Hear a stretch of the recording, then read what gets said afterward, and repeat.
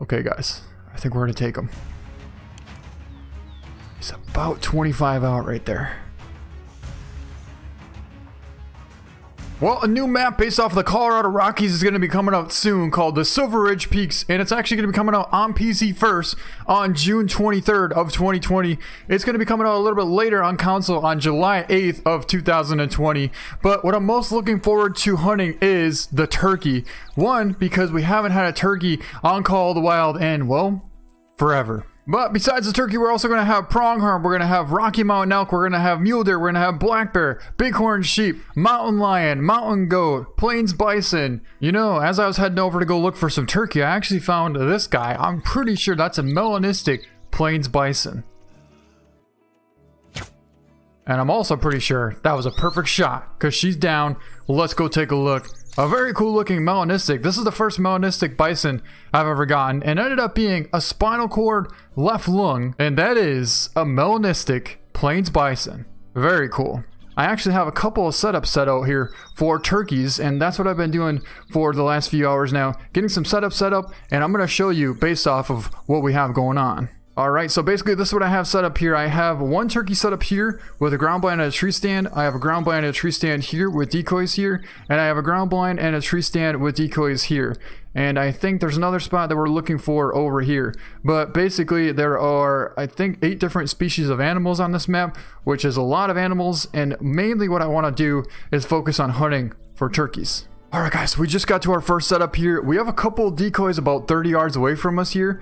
And the other day I was out in this area scouting around. I saw a big old gobbler over here, full strut, right out in this kind of uh, little grass field here. And then there was another tom maybe 50 yards behind him. Not quite as big, but still a pretty decent gobbler. And what I want to do now is see if we can't get their attention and hope that that big gobbler shows up. He shouldn't be too far away. Guys, I see him. All I can see is a redhead right between these two decoys there, but if you look closely, oh, we just spotted him. That's him right there. He's sitting out there at about 45, 50. I'm trying to call a little bit, but I don't know if he seems too interested. Got a bunch of pronghorn coming in here as well. Oh, how cool is that? Big old redhead coming in. He's really not that far away. But I want to get a good look at him when he comes in here. Our decoys are roughly about 28 yards away. So when he comes out to this opening here, that's pretty much how far he's going to be. Let's just keep an eye on though. Look at his head coming in. Awesome. I mean, the only thing cooler right now would be if he gobbled, but even if he doesn't, this is just awesome. See how he's taking his time? He knows something isn't quite right, so he's actually slowing down and going back the other direction. So that means we have to try and call a little bit more to keep him interested. Oh, that sounds so cool. So he knows something's up. He's out there at 40, 45 yards out, and he he knows something's up. Even even though we have a perfect wind here, I don't understand if maybe because we don't have perfect cover, we're in a kind of ground blind here, but yeah, he, he knows something's up. I still see him, but he just doesn't want to quite come any closer. He's sitting out there at about 30, 35, but he's in this tall grass and we can barely, barely see him. Well, even though we had a really good setup, sometimes turkey hunting doesn't go as you plan, and that's exactly what happened. I think the problem is we had too thick of grass all around us, and we couldn't really see in there to be able to call out these turkeys. So it just so happened that I had a tree stand set up on uh, the opposite side of these decoys here, and now we got up in here and we can actually see basically what we have going on. You can see both toms out there, maybe like 60 yards out. I've been trying to call a little bit, but I want to see if they're going to come a little bit closer. Oh, here we go. Finally. We've been sitting in the ground blind for like 30 minutes now, and this gobbler wouldn't come close enough to us. I mean, let's just say he was close enough, but he wasn't well, we couldn't see him. He was in too thick of grass. But now we have him right out in the wide open here. And that is pretty awesome. He's only about 35 out right there. Definitely in range. Um, but I think I want to get him to come over here a little bit more. So we'll see. Yeah, he's right there at 35 yards out. Okay, perfect. I really like where he's at right there. 35 yards away. Yeah, that's pretty much exactly where I want him.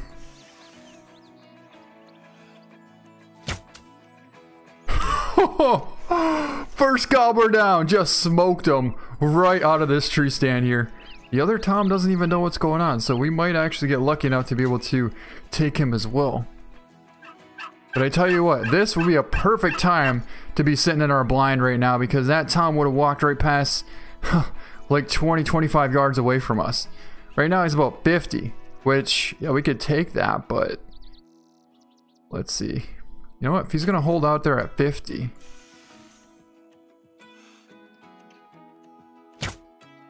Got him!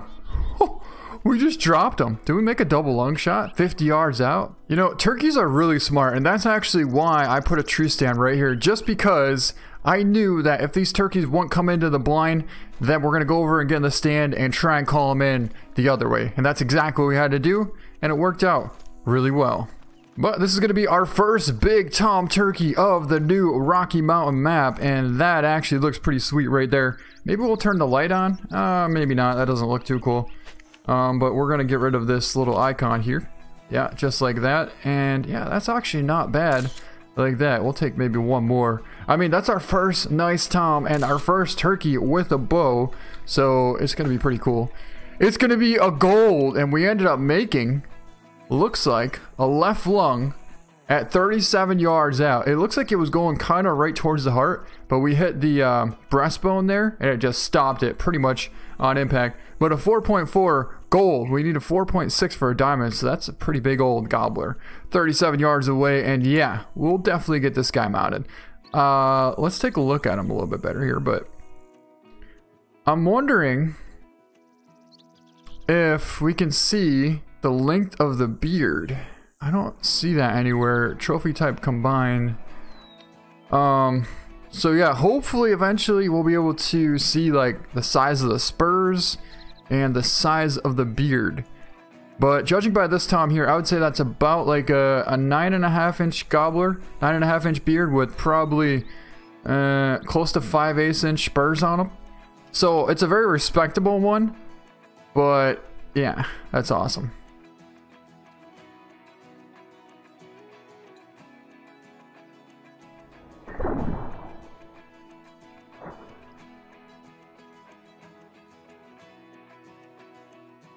And like I said, we're definitely getting a mounted. 1500 cash. It's actually not too expensive. I want to go over here now and find out how big this one is. I don't think it's going to be a gold or even as big. I know it's not going to be as big as the other one. But I also want to find out where we hit this gobbler. And actually, that went down in a really cool spot. Even though he's not as big, that's going to be a pretty cool picture there. And let's pick him up. It is going to be a gold as well and a four scoring goal, just barely a goal, but 49 yards away, ended up making a left lung vertebrae shot. So we hit a little bit high. I thought we'd have some drop. I was zeroed in for, well, my red dot is 40 dead on, right? So I held 40 for the top of the lung for 50, but it looks like we didn't get hardly any drop on that. Um, but I would say that this Tom here probably has somewhere around like a, an 8 inch beard or something like that. Maybe like half inch burrs. Uh, change of plans here. I wasn't really planning on getting ready this fast, but we have a Tom coming in super fast. Now, we just got to this spot here and I heard a mating call, but I also heard a gobble. That means that the turkeys gobble. Well, at least the males do, which are the Toms. And that's one right there looking at us about maybe 40 or 50 yards out here. So maybe we'll crouch down because I don't want to spook him. But yeah, they in fact do gobble.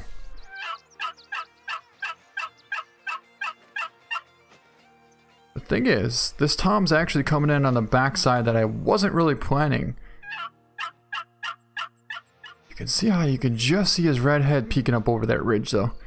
He's right there at about 60 out. I don't know how close he's going to come. So we have our decoys set up right here, right? So I was actually planning on the tom coming in or the turkeys coming in from this side. But for some reason, they must like, they must roost up in there or something. Oh my god, oh my god, oh my god, right there, right there, right there, right there. 20 yards away. Oh, he just stuck in so fast. He's right in this bush. Well, we had that Tom 20 yards away from us, and honestly, I haven't seen him since. I heard a couple warning calls, but since then, That was the last time we saw him. So since these turkeys are so smart, what I want to do is take down this blind, and we actually have like this little bush right here. I think we're just gonna sit right in this little bush and try and call in those turkeys, or at least that one tom, into these decoys here, and see if we can't get them with the bow. Alright guys, it looks like our Tom's coming in nice here. He's coming in about 80 yards out, kind of right through the bottom of this grass like I thought he was going to come. He doesn't really have to come too much further, but you know what? If he gets somewhere around here, we'll probably take him. I really don't know if he's going to come all the way to decoys or not. So let's watch. He definitely is coming in pretty fast. He's out there at about 60. Real nice gobbler. Yeah, right there. I don't even want to call at this point because he's so close that it could potentially spook him. Okay, he's 50 yards away. I don't know if he's going to come any closer. But he's in the grass, so we'll have to wait a little bit.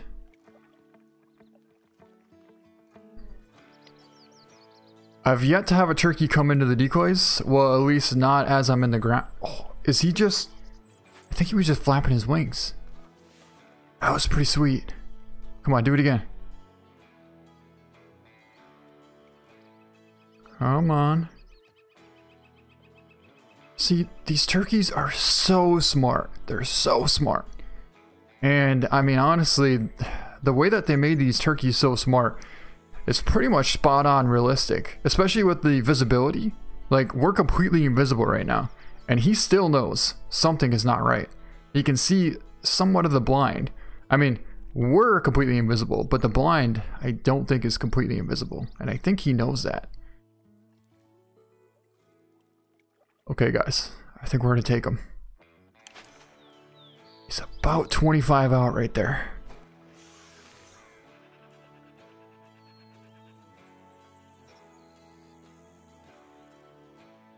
Oh, come on. Got him! Big gobbler! Alright, he is down. He ran a little ways, but I mean, it's to be expected, especially if you take him down with a bow. I'd say he ran maybe like 10 or 15 yards. Anyways, let's get over and go get him. Man, he came in so close. He was actually sitting out there at roughly, probably like 30 yards out. I mean, he might have came a little bit closer, but you know what? We weren't going to risk it, and we took a shot, and it looked good. Let's go take a look. Oh, here he is, and ended up getting, we actually hit the uh, breastbone. So we were a little bit too far forward, but still got a gold of 4.3, another big old gold Tom Turkey at 32 yards away. And this guy here looks like he has a big beard as well. I would say that's like a 9 inch beard with maybe like 3 quarter inch spurs, but that's pretty sweet as well. That's going to be our second biggest Tom. But we do know now to hold back a little bit more Actually, was he facing kind of like that? He was quartering like that. We hit the breastbone, but we have to hold back a little bit more next time.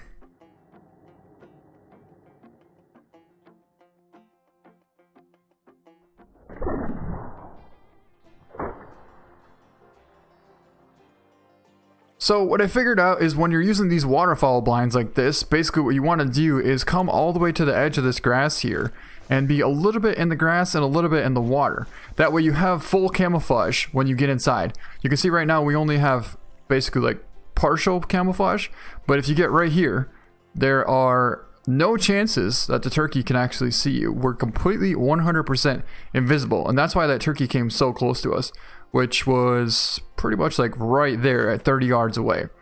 Now, I've actually had a couple turkeys come to the decoys, and they do fly away. So I don't know if it's a bug or what, but when they get close to the decoys, don't just sit there and let them walk around because you might never see them again. But I mean, hopefully this gets fixed because eventually they should be able to come in and kind of just chill around the decoys and you can watch them a little bit more. I, I might try that out in the next hunt, but we'll see. For now, yeah, that uh turned out pretty well.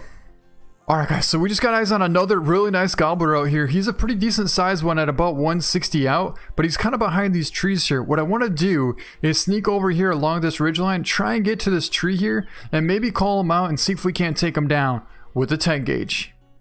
So we should be somewhere around like 50 yards away from this gobbler here. We've been prone for a little while now, And I haven't seen him yet, but it's because it's so thick here. There's so much grass we can't see over this ridge. But hopefully we can see him. So oh, he's right there. He's right there. He's right there. Perfect. Perfect. Perfect. Perfect. He's right there. He's only like. Yeah, yeah, yeah. He knows we're here. All right, guys. We're just gonna have to go for it.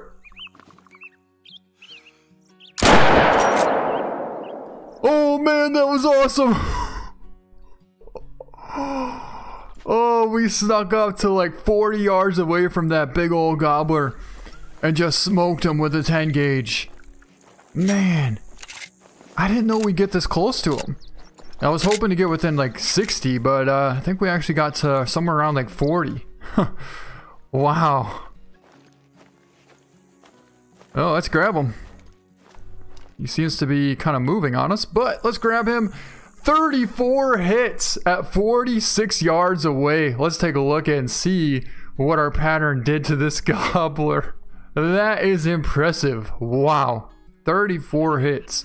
Looks like this one hit pretty much right in the neck. And this one just missed it. And then we got a bunch of hits kind of in the chest. So we might have been a little bit low, but I actually thought that he was way closer than that. So I kind of held low, but that's, that's a lot of penetration. He scored 4.10, and that's a gold. Nice.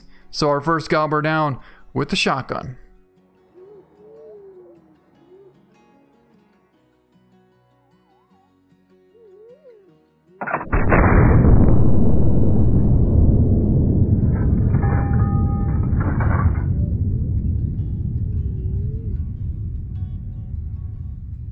Well, I thought we'd change it up a little bit here and actually go after some bighorn. I found a really good spot where I saw a huge ram, and I happen to have a tree stand set up right here. So we're going to try and slide over, get into this tree stand, and see if we can't find this huge bighorn sheep. He's right there. Oh, there's actually two of them. Two really big rams. I think that's the, yeah, that's the big one right there. He's 15 yards away. And there's another one right there. I guess they're both very similar to the same size. But yeah, that right there is an awesome ram. I think we're going to take him down. Wow. I didn't think we could get this close to him. It seems like the turkey are even smarter than the bighorns. Which, that might be true. Okay, well it looks like the sun's coming out now and we're actually going to be able to take a shot when he turns his head. The problem is, he's right next to that other one right now, so if we took that shot... I'm going for that one, actually. We took it, and we dropped him. Oh, man, that was pretty awesome. And this is going to be our first bighorn sheep right here that we just got with the bow out of the tree stand. That should be a good one. Let's find out what he's going to score. A 147 gold. Uh, it says he's a black fur type, which I don't know what that means, but he ended up weighing 300 pounds and ended up making a shoulder blade double lung shot at 15 yards away. We're using the 420 grain arrows as well. So smoke that ram, and that's actually a pretty decent one. We need 164 for diamond. Let's actually take a look at the true score on this because, like I said, it's our first bighorn sheep. We've been wanting these for so long in the game. Then we got the Mouflon, which we were kind of content with for a little while, but it still wasn't a bighorn. I love the texture on kind of like the grooves of the horns on this thing right here. Man, that is pretty detailed. I really, really like that. And I'm so excited that we can finally hunt the bighorn sheep. Awesome ram. And let's get him mounted. Well, what do we have there? That is a big gobbler. 270 yards away. He's just sitting out there. Now, we just took down that one with a 10 gauge here, and we're Got some mule deer going over there too as well. But uh, this might be a really cool opportunity to try and sneak up on this gobbler as well. We got a perfect win, so let's go for it. Alright, there he is. We just snuck up to about 60 yards out from this big gobbler. He's actually working his way around the backside here, which might not be a bad thing, but I do want to try and call him and get him to slow down a little bit. We don't have a ton of cover here, but I mean, we have decent cover.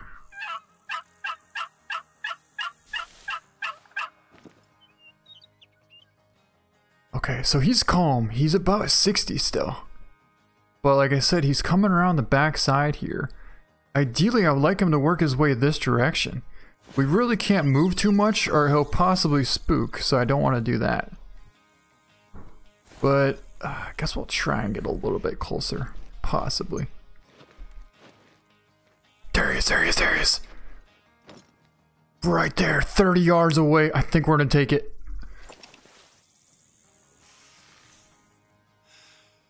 Come on. Oh, he was coming in fast. But we dropped him. For some reason, sometimes when they trot in fast like that, they actually spook and they fly. That's why we went for kind of a trotting shot. Not only that, he would have been in this brush here and we wouldn't to be able to see him. So, well, here he is. And that actually will be a really cool picture if we can get one. Maybe we can walk over here and flatten this part down. Oh, yes, we can. All right, let's take a really cool picture of this gobbler. Actually, it's better from up here. And it seems like the sun just went behind the clouds, but it should come out here in a second. Alright, now we finally have sun and we can take a really cool picture of our nice gobbler here that we snuck up to about 20 yards out. And let one fly. Let's grab him. Ended up with a left lung. That is going to be our biggest gobbler yet. Almost a diamond. 4.6 is diamond. This thing scored 4.50. Ended up with left lung at 23 yards out, and we just missed the heart. Look at that. Awesome shot as he was coming at us here, and definitely going to get this mounted because he's our biggest gobbler yet.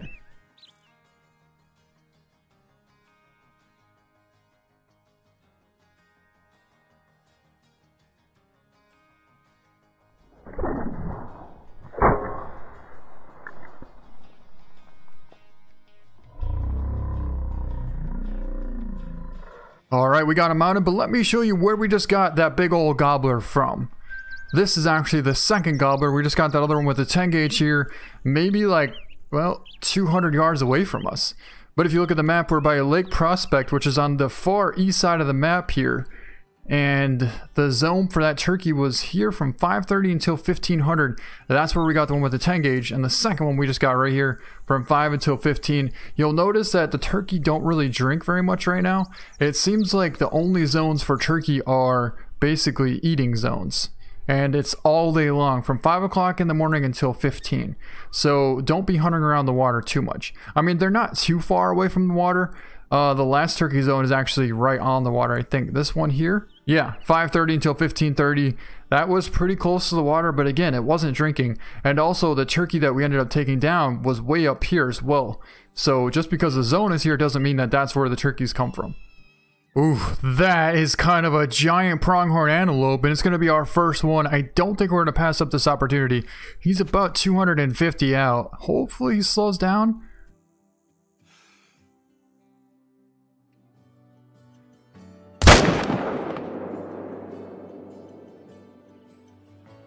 That looked good, but uh, I can't see. Yes, he's down.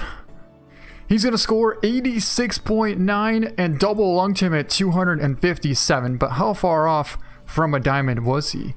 Um, actually, not too far. Maybe like 12 points, which that's uh, I mean that's pretty big. I would say that is the big um horn. I think. Yeah, I think it. I think that's definitely the big one.